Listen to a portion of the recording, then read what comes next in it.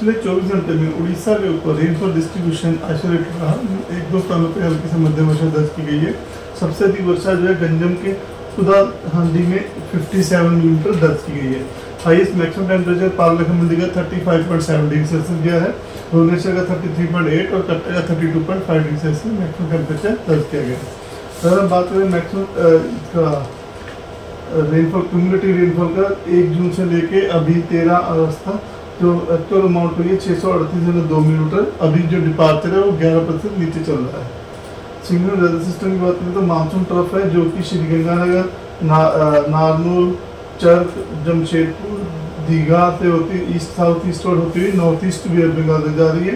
दूसरा जो सिस्टम है ट्रफ जो कि नॉर्थ मध्य प्रदेश के ऊपर साइक्लोनिक सर्कुलेशन है now run from cyclonic north east Rajasthan से जो सर्कुलेशन है, और नेबरहुड ऑफ़ बांग्लादेश तक आ रही है। जो कि साउथ उत्तर प्रदेश, साउथ बिहार और निगेटिव वेस्ट बंगाल के क्रॉस होती हुई समुद्र सतह से ज़ीरो दशमलव नौ किलोमीटर ऊंचाई पर बनी हुई है।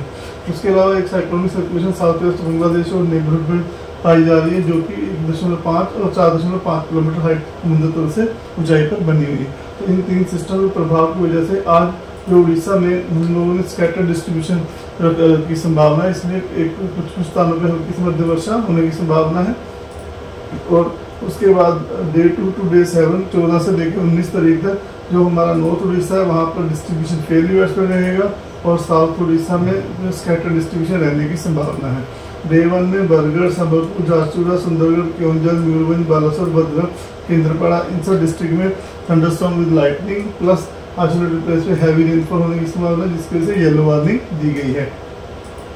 चौदह तारीख को भी संबलपुर झारसुगुड़ा सुंदरगढ़ केवंझर मयूरभंज जाजपुर, बालासोर, भद्रक, केंद्रपाड़ा, इन सब डिस्ट्रिक्ट में येलो वार्निंग दी गई है। आइसोलेटेड प्लेस पे हैवी रेनफॉल होने की संभावना की वजह से प्लस थंडरस्टॉर्म लाइटनिंग की वजह से।